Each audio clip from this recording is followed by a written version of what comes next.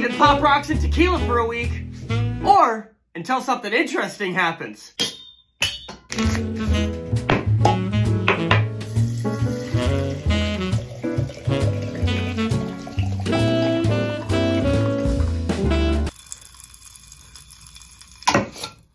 And now we wait. Well, it's been 24 hours and something interesting happened. The pop Rocks disappeared faster than my dad going for milk.